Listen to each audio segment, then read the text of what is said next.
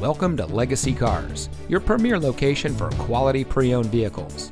And here's a look at another one of our great vehicles from our selection of cars, trucks, and SUVs, and comes equipped with 7 speed automatic transmission, convertible hardtop, leather seat trim, and much more.